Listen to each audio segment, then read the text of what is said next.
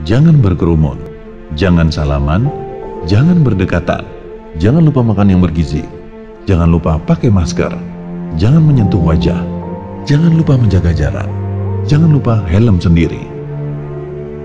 Jangan lupa cuci tangan, jangan lupa cek suhu tubuh, jangan lupa vitamin, jangan lupa berolahraga, jangan meludah sembarangan, jangan lupa hidup sehat, jangan lupa membersihkan tubuh dan ganti baju.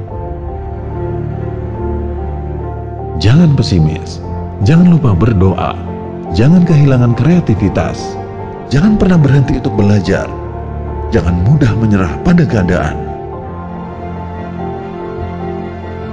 Mari kita galang disiplin dan kesadaran kolektif untuk tetap semangat. Kini saatnya beradaptasi menuju tatanan budaya baru